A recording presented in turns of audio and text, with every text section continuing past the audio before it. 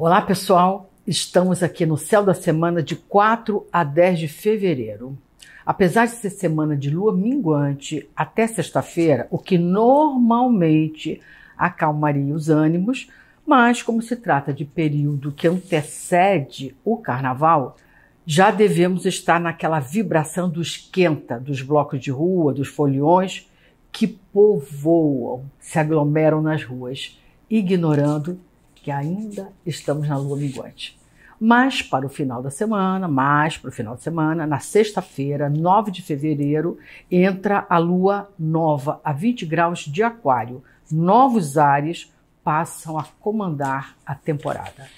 Mercúrio, o planeta da comunicação e das ideias. O planeta que rege aquilo que se passa pela nossa cabeça e que sai pela nossa boca, deixa o discreto signo de Capricórnio e ingressa no signo de Aquário e nos convida para pensarmos de maneira diferente do habitual.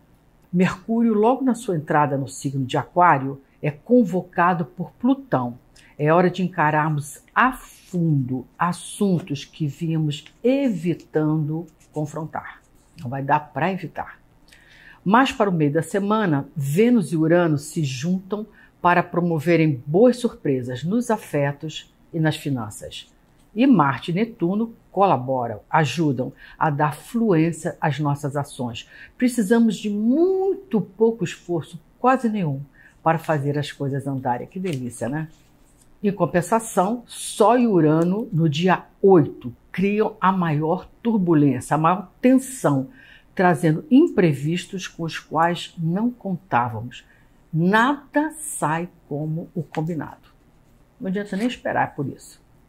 Mercúrio e Júpiter desalinhados lá no final de semana alertam para congestionamento no trânsito, nas ruas, nas rodovias, nos aeroportos. Afinal, é sábado de carnaval.